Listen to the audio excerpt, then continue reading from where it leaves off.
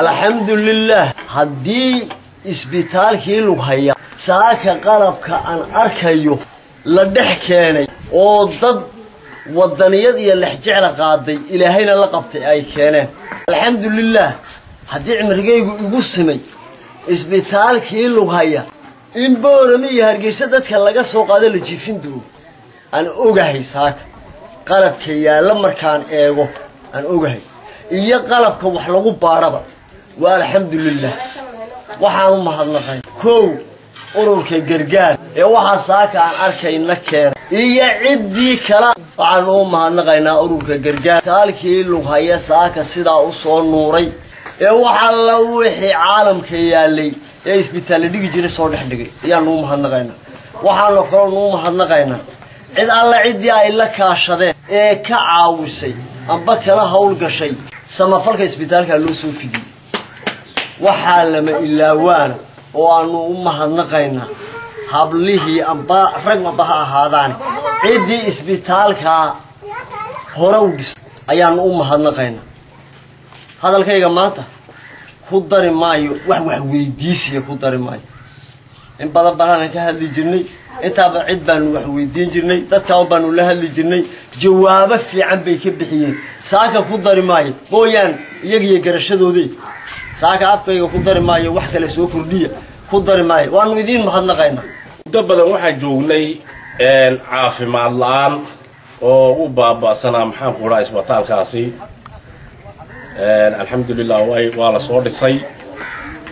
Waxaan u mahadnaqaynaa kuwii soo dhisay ee saa u soo qurxiyay baan u mahadnaqaynaa waxaan mar labaad u mahadnaqaynaa ururka gargaar iyo ciddaa gargaar iyo ciddii kale ay la kaashadeen ee qalabkaa quruxda iyo qiimaha le iyo tayada la keenay ayaan u mahadnaqaynaa.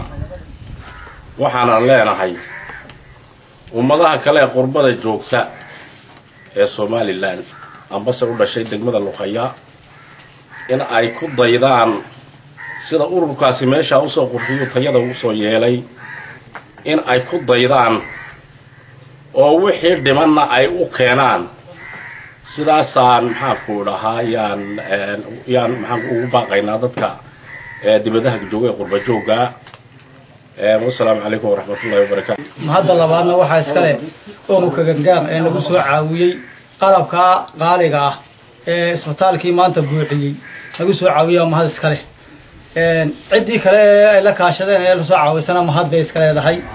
Waxaa kaloon u baahannahay hay'adaha iyo dowladda somalilan xukuumadda somalilan dhammaanteedba isbitaalkii uu nagu kooban yahay. Waa isbitaal yar oo aad u kooban ilaa afar qol meelaha weeyaan.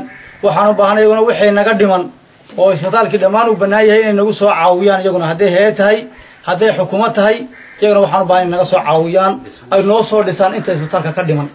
Maadaama uu kooban yaho afar qol yahay qalabkiina loo keenay casriga ahaa. Haddii kii wax lagu baarayo yahay haddii kii la seexinayo yahay nooc walba la keenay. Waxaan u baanay inay nagu soo caawiyaan. Siiba hadday hay'adahana inay soo dhisaan. Cid ciddii ku shaqa leh maca wasaanadda caafimaadka. Waxaan uga baahanay wax alla wixii qalabka maxay m c h ka maxay isbitaalka ka dhiman. Inay nagu soo caawiyaan iyaguna wax nagala soo qabtaan. Dadweynaha kale ee qurba joogga ee ukunkaa gangaar maaha na soo caawiya maad inta kale ee gobolka awdal u dhalatay ee somalilanah iyaguna inay gacan ka geystaan wixii dhiman iyaguna gacan ka geystaan wax ka qabsadaan. Marka hore waxaa mahad iska leh ururka gargaara keenay qalabka qiimihii oo qaayaha leh. Intaa labadaa waxaan ugu mahadnaqaynaa waxqabadka.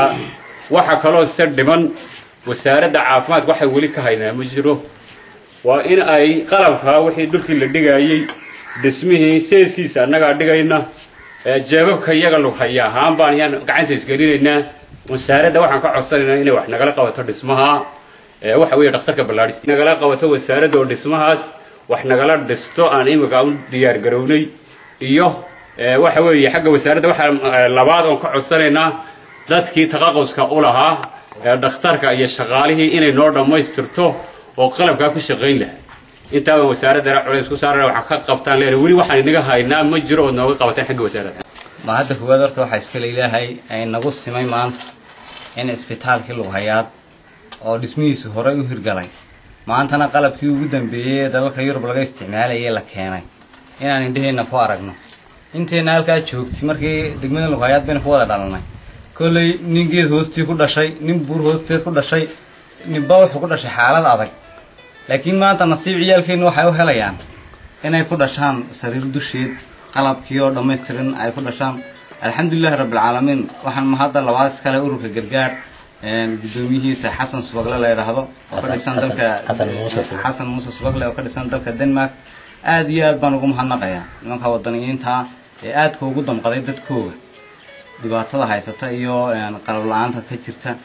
Runtii maanta waxaa mahad weyn farxad weyn noo ah in qalab aan oolin magaalooyinka boorame iyo hargeysa in degmada lughayaad dhexdeedii la keenay.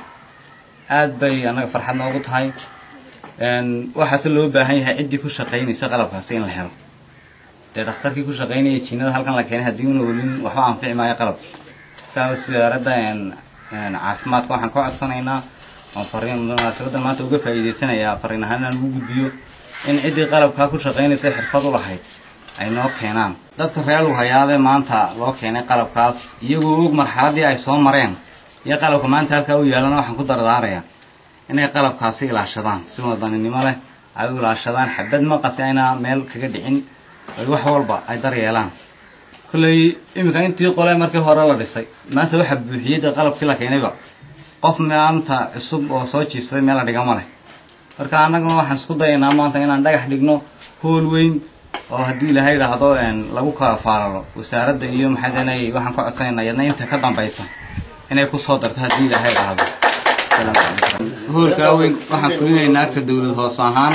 Iyaanagoo kaashanayna dadka degmadeeda lughayaa degan iyo ku qurba joogaba haddii ilaahay idhaahdo waxaan rajaynaynaa inaan hoolkaa iyadna dhammaystirno maadaama meesha ay ciliidhi noqotay oo dadka meela dhiga ayna lahayn.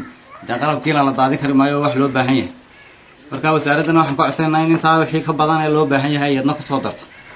Hawshii inteedii badnayd ama qurba joog ha qabto ama goole deegaan ha qabto hadday dhismo tahay iyo haddii qalabkii la sugayaba ay tahay way soo dhammaadeen. Waxaan kaa sugnaa ballanqaadkii markii aad wafdiga nagu martay wixii aad noo ballanqaaday ayaan kaa sugaynaa wasiir. Sababtoo ah waxa weeyaan qalabkii waan haynaa dhismihii waan kordhinaynaa laakiin dhakhaatiir ma hayno. Horenooma ay joogin meesha. Ballanqaadkii aad noo ballanqaaday inaad dhaqaajinaysa dhakhtarka markii wafdiga aad nagu soo martay ayaan kaaga fadhinaa wasiir waxaa kaloon ku xojisiinayaa mahadda dadka yaga reer awdal ee qurba joogta ah ee dhakhtarkii aan cidlada ku dhiigbixi jirnay aan ku dhiban jirnay noo dhisay. Intay noo dhiseen haddana noo buuxiyey ee qalabkaa saaka aan tirinaynay noo dhigay. Horta dadkaasaan u mahadnaqaynaa marka u horreysa ilaahay khayr ha siiyo. Ninkii nagu soo xaggayga soo eegaba khayr allah siiyo. Waxa weeyaan waxaa kaloon ugu mahadnaqaynaa dowladda madaxweynaha somalilan iyo madaxweyne ku-xigeenka yaga nabadooda qaaliga ah iyo gobolka yaga awdal wixii noogu maqan ee qurba noogu maqan. Sidaa iyo si ka daray magaalada raadkeyga wadarkaysa raad dagaal baa ku yaalay. Dhakhtarka maanta aad noo dhisteen mooya intii kale waa idinkaana arkaya. Waabuka iyo awalka iyo oodaha waa idinkaana arkaya. Inaad noo dhistiinoo sidaa noogu soo dadaashiin doonahay. Ilahay khayr ha idinka siiya idinkan waxa weeya waxaan ka booday oo annaga nasiib darra nagu ahayd. Cidlooyinkaan ku dhali jirnay waan dhiig bixi jirnay sariir cidlaan ku dhali jirnay boorame iyo jabuuti iyo hargeysa cidi noogama sokayn alxamdulilah rabbil caalamiin hablaha yagii baa naga nasiib badan. Waa kuwa imka sariiraha iyo alaabta iyo kombiyuutarada loo keenay. Alxamdulilah iyagana allah u siyaadiyo. Allah u siyaadiyo. Iyagaa naga nasiib badan anagu dhibtii aan soo gaadhin wixii dhintay maalin wixii kale ka baxayna. Dee waa alxamdulilah rabbil caalamiin waa naga ka weynaanay. Oo intaa dee egfashan iyo buti iyo cidlaan ku dhalan nagu dhacday. Dee khaalaqa unba ogaayo inta ku dhalmadaysa alxamdulilahi rabbilcaalamiin intii noo waday intii noo keentay ka naga duubay maxamed bilibili أنا تبا وهم هذبا ونغينا يقوه نوكيني أبلا يقوه نوكيني خوتك خربا جو قدمان فقير دمر ما.